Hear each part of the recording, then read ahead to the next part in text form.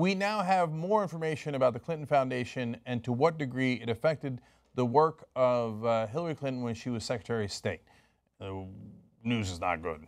Okay, so first of all, uh, there's been a lot of freedom of information requests uh, that has resulted in this news. Some of those requests were uh, done by conservative organizations. That is irrelevant. What is relevant is the information that is real and truthful. Now, whenever you're getting from a conservative website, you should be careful because a lot of that stuff is not truthful. These are actual emails that were sent, so there's no question to their uh, validity. So, uh, Mediaite explains that conservative activist group Citizens United, as you might imagine, I'm not a big fan of them, but they, they're an actual group. That's what the Supreme Court case was about. Uh, they're a conservative group. They obtained State Department Chief of Staff Cheryl Mills call logs through a Freedom of Information Act and found 148 messages from the Clinton Foundation Chief Operating Officer Laura Graham. So understand this the Chief of Staff for Hillary Clinton at the State Department is getting nearly 150 messages from uh, the Chief Operating Officer of the Clinton Foundation. Now remember, Hillary Clinton, if you don't know, when she be going over to become Secretary of State, part of the Clinton Foundation and says, okay, now that I'm going over there, I know that I had a lot of dealings with rich people, corporations, and foreign governments at the Clinton Foundation, which is a charity that we're running out of the goodness of our hearts, which is somewhat true and somewhat not as true, uh, which I'll explain in a second. Uh, and she says, but as I'm going over the State Department, I will not be influenced by what, but what I, by what I did at the Clinton Foundation at all. And I'm going to sign a letter saying we're totally independent of that don't care about the donors there or anything else. I'm just Secretary of State here. Now all of a sudden we found out, wait a minute, now there's 150 emails uh, from, you know, your chief of staff to the Clinton Foundation's chief operating officer. Seems like that might be a little involved, but wait, wait, wait, we got a lot more where that came from. Um, they explained further, with calls more than once a week on average, no other individuals or nonprofits called Mills nearly as frequently. So the number one person or organization, I should say, calling and, and emailing the Secretary of State was the Clinton Foundation. What happened? I thought you guys were separated and there was no relationship between the two. Mm, doesn't seem that separate.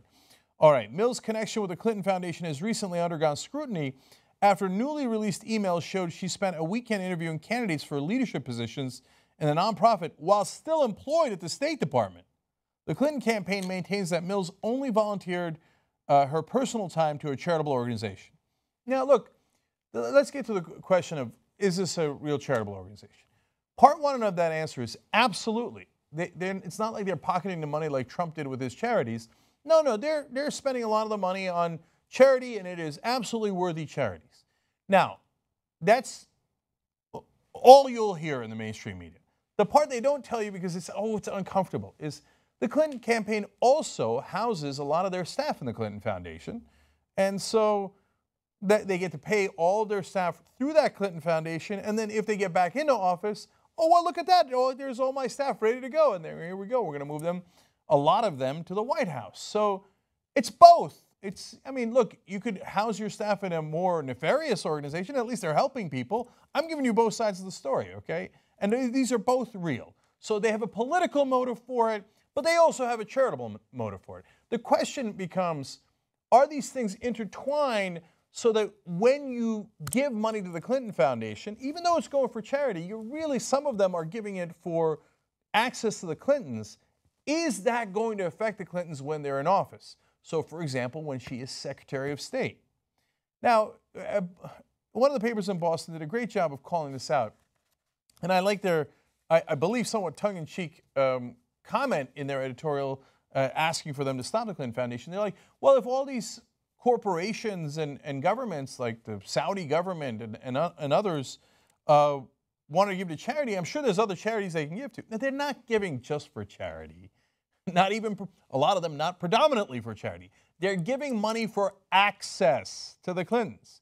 So when you have her Secretary uh, of State's uh, chief of staff then doing interviews for that foundation, it doesn't look like you've separated. Even if you did it for what you view to be charitable reasons, don't do that. That appears to be a conflict of interest. Now, how much does that affect them? Maybe they take the calls, but do they take any action? Okay, now we get to that part of the story. Um, Law News explains Uh, the 20 Hillary Clinton newly released work related emails include an exchange between Clinton and Abedin, that is her, one of her top staffers, Huma Abedin, in which they discussed delaying the Secretary of State's charter jet to fit in a 15 minute meeting with a billionaire businessman and contributor, Danny Abraham. According to the New York Post, Abraham donated between 5 million and 10 million to the Clinton Foundation. Hmm, I wonder if they squeezed it in. Well, let's see. Well, so here's this exchange in the emails. Abedin says Danny Abraham called this morning. He's in D.C. today and tomorrow and asked for 15 minutes with you. Do you want me to try and fit him in tomorrow? Again, Clinton as Secretary of State. She says, Will the plane wait if I can't get there before 7 to 8? Abedin, yes, of course.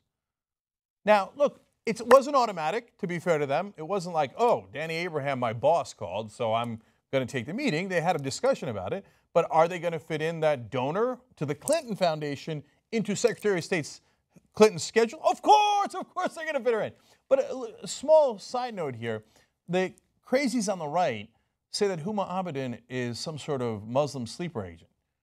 So that Muslim sleeper agent is helping to squeeze in a call from a Jewish donor uh, who uh, is very pro Israel before a meeting uh, that Secretary Clinton has with the foreign minister of Israel.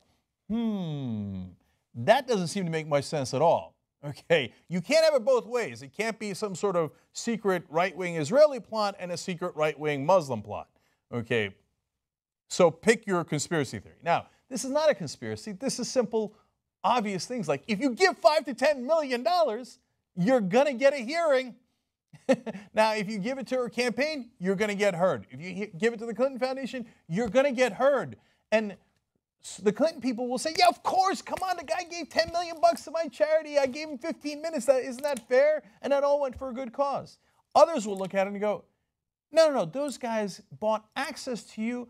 They get to whisper things in your ear that is relevant in your decision making for all of us, and that's not fair." That's what we're worried about when we say systemic corruption. So, what did Abraham want to talk about? Well, the content of his conversations are not in the email, so we don't know. Abraham is giving to Clinton. Presumably, he's on the left in America. I don't know what his position on Israel is, but Danny Abraham, according to the email from Huma Abedin, Danny Abraham wants to talk to you about Israel, ideally before you see Lieberman. Who's Lieberman? Avigdor Lieberman is the foreign minister of Israel. No, no, that, okay, that's unacceptable. I don't know if Danny Abraham is a right winger on Israel or he's a left winger on Israel. Lieberman, we know, the foreign minister of Israel at the time, total right winger. So maybe Abraham is saying to Hillary Clinton, go get him, like, yes, listen to whatever Lieberman says and do whatever he says. Or maybe he's saying the opposite. Oh, hell no, Lieberman's a nut. Don't listen to anything he says. Either way, it is unacceptable. You can't have a donor demanding to meet with you before you meet with the foreign minister of another country and then telling you his opinion on it. Does that mean that his opinion then immediately gets, you know, turned into US policy? No, no, no. We don't live in a black and white world. But does it mean that Hillary Clinton takes that under advisement and knows that if she does the right thing, she continues to get Clinton Foundation uh, charitable uh, money from Abraham and later contributions to her campaign? And in other instances, speeches that she gets to put in her own pocket, money she gets to put away for her family? Of course it means that. That's the whole problem with systemic corruption. No, we can't have this. I honestly have no idea what Danny Abraham's opinions are on Israel.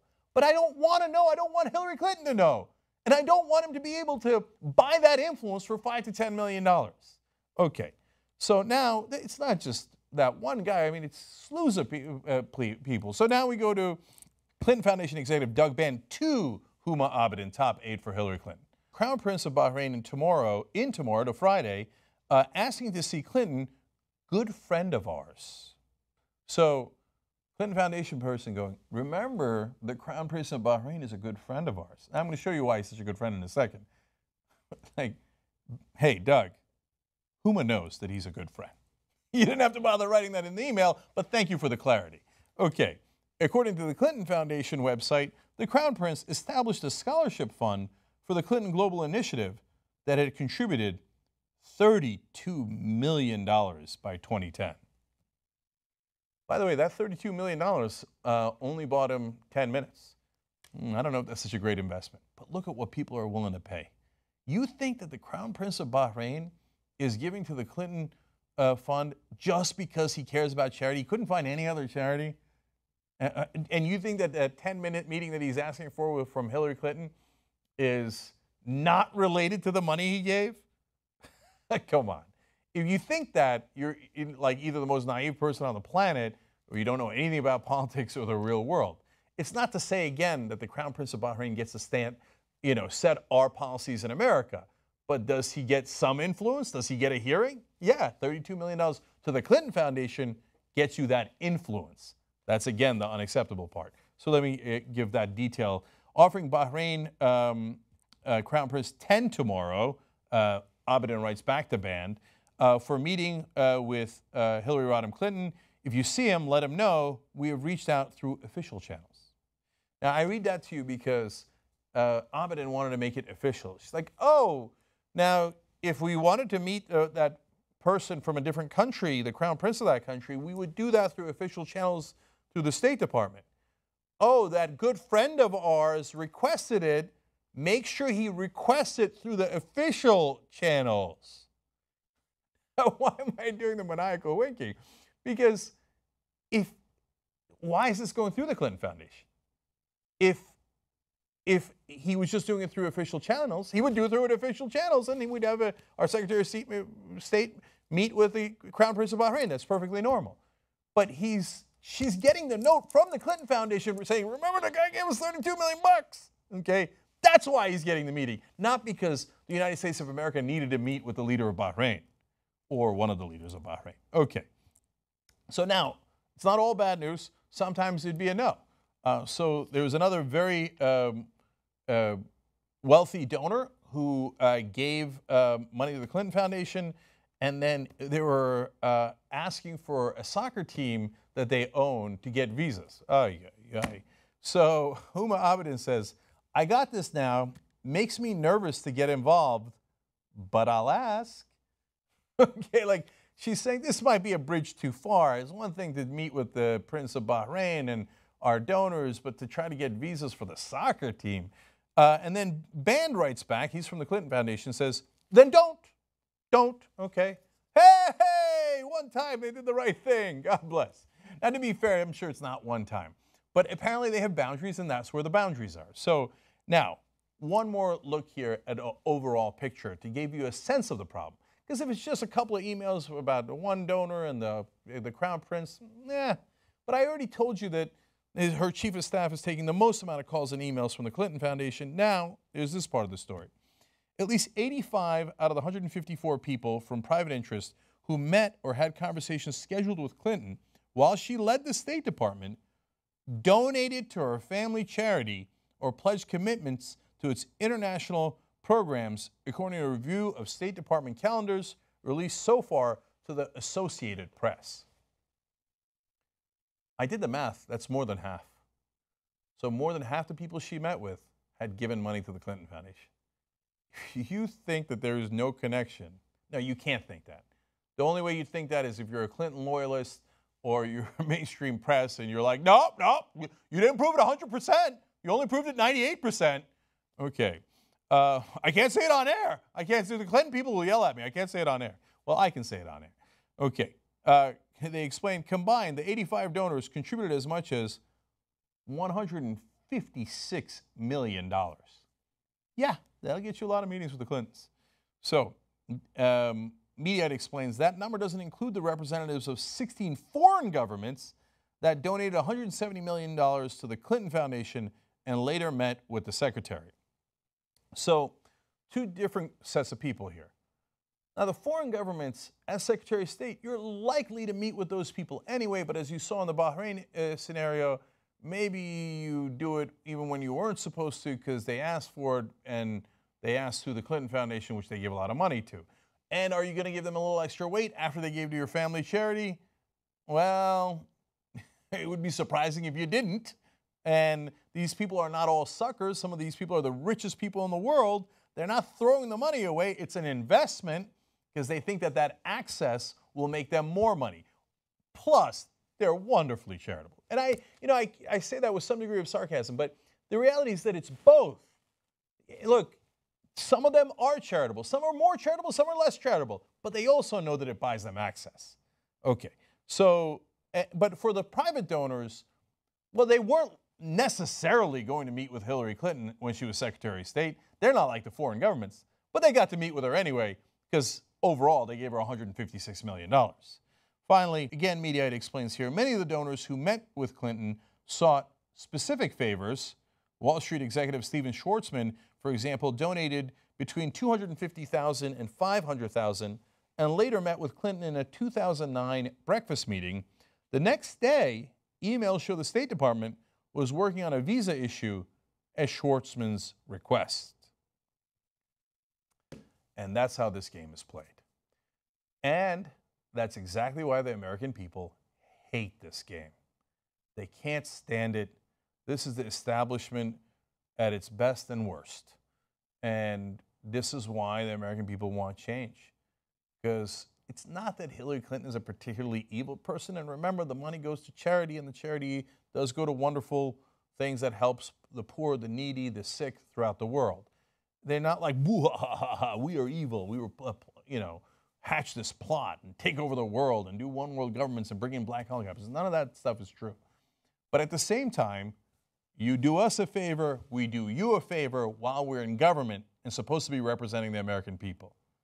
That is corruption, and it is sickening, and it is our current system. That's why we all want to change it.